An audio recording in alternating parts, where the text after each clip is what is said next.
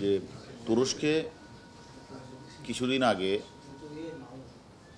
ভূমিকম্প হওয়ার পরে ওইখানে কিছু লোক লাগবে, সারা তারা তুরস্কের সেনাবাহিনীর অধীনেই তারা কাজ করবে।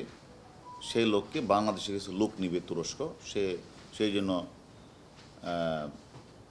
কামরুল হাসান এবং ফাহাদ হাসান বাপ ছেলে তারা, তাদের যে ভুয়া যে প্রতিষ্ঠান, বৈধ লাইসেন্স নাই এরকম ভুয়া প্রতিষ্ঠান খুলে তারা মানুষের কাছ থেকে যে সাত লাখ টাকা লাগবে প্রথমে, তবে তিন লাখ টাকা, সাড়ে তিন লাখ টাকা জমা দিলেই হবে, তারা হাজার হাজার লোক নিবে।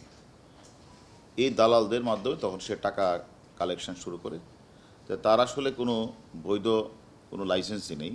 তারপরও সে আল রিফাত ইন্টারন্যাশনাল, তারপরে জমজম ওয়ার্ল্ড রিক্রুট এজেন্সি এবং এবং মানে Tanisha world recruit agency S D holy travel স্টোরলিজম মানে সমকাল বাণিজ্য সংস্থা, এরকম অনেকগুলি ট্রাভেল এজেন্সি খুলে সে বিভিন্নভাবে লোক নেওয়া শুরু করে। তো তারা তার কাছে আসে, সকাল আসার পরে সে তাদের কাছে টাকা নিয়ে নিয়ে বলে তোমাদেরকে মেডিকেল করতে হবে।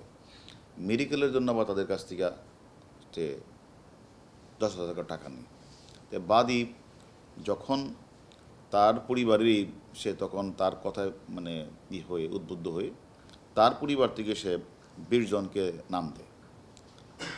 বাদী যখন বিশ জনকে দেয়, বেতন বাদীকে বললে যে হ্যাঁ হয়ে গেছে আপনার, আপনি মেডিকেল করান। মেডিকেল করাইছে মেডিকেল করার পর দেখে আর খবর নেই। একটা পর্যায়ে তখন দেখল যে, ঘুরে যে, কারণ যে সে নিচ্ছে না কেন, তখন তাকে বলো যে না তুরস্কে যে লুক নেওয়ার কথা ছিল, তুরস্ক এখন বন্ধ করে দিছে।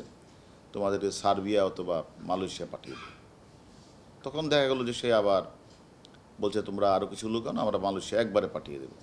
এটা বলে আরও কিছু লোকজনের কাছ থেকে টাকা নিছে। প্রায় পনেরোশো লোকের কাছ থেকে প্রায় মানে এক মানে তিন লক্ষ, কারও দুই লক্ষ, আড়াই লক্ষ টাকা নিচে নিয়ে সে একজনকে পাঠাতে পারে নাই। অফিস বন্ধ করে চলে গেছে। তারপরে আমরা যখন তদন্ত শুরু করলাম মামলার প্রেক্ষিতে মামলার প্রেক্ষিতে যেটা দেখলাম যে আসলে সে একসময় মালয়েশিয়া থাকতো।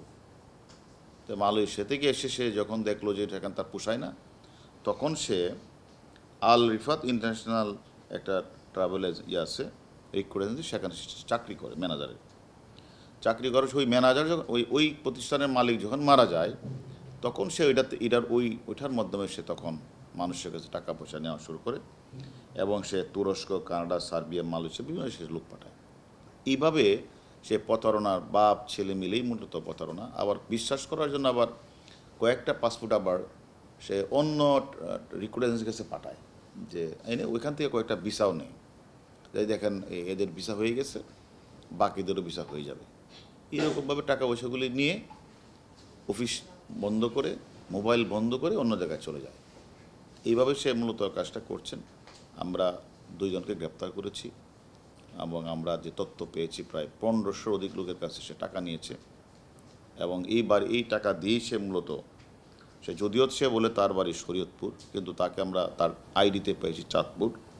এবং সে বিভিন্ন মানুষের কাছ থেকে প্রতারণা করে নারায়ণগঞ্জের সিদ্ধিগঞ্জ এলাকায় বড় বিল্ডিং করেছে।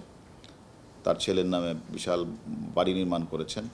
এবং এই ছেলেকেও এই প্রতারণালব্ধ বৈধ মানে রেজিস্ট্রাবির নাম প্রতিষ্ঠান তৈরি করে তাদের সেখানে সে নিয়োগ করে। এবং আমরা খোঁজখবর নিয়ে তার নামে অবৈধভাবে সে চালাচ্ছে পাঁচটা রিক্রুডেন্সির ঠিকানা পেয়েছি। এবং তার কাছ থেকে আমরা বিদেশে পাঠানোর ভুয়া নিয়োগপত্র, ভিসা কম্পিউটার ভুয়া প্রতিষ্ঠানের ভিজিটিং কার্ড এবং মোবাইল ফোন চার পাঁচটা আমরা উদ্ধার করেছি।